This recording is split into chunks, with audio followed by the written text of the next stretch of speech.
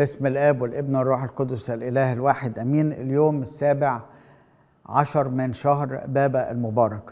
والكنيسة تقرأ لنا أيضا إنجيل الرعاية ولكن رعاية ربنا ناخدها من منظور معلمنا بولس الرسول اللي بيكلمنا عن إنه الرعاية هي إضاءة أنفسنا من الداخل أن الله ينير بوجه معرفته بوجه يسوع المسيح. لنا إنه حتى لو إحنا لنا كنز في اواني خزفية ده بيدينا شكل من الرعاية إن لنا كنز حقيقي هو المسيح إلهنا.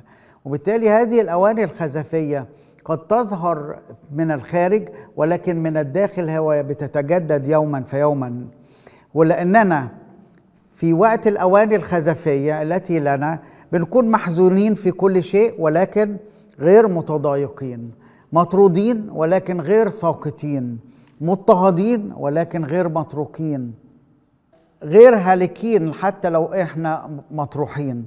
حاملين في أجسادنا كل حين اماته ربنا يسوع المسيح لكي تظهر حياة يسوع المسيح في أجسادنا. علشان كده هي رعاية متجددة متجددة. إنساننا الخارجي يفنى لكن انساننا الداخلي يتجدد يوما فيوما.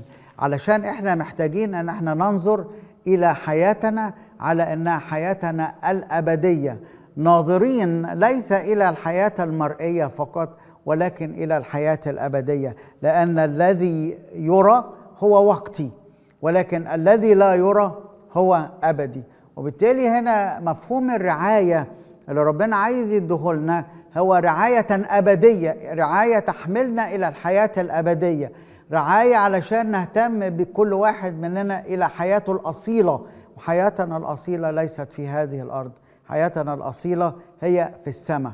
وعلشان كده خلي بالك اهتم لحياتك الأصيلة واعمل لحياتك الأبدية. علشان هذا الكنز الذي نحن محصورين فيه هو كنز أبدي لينا.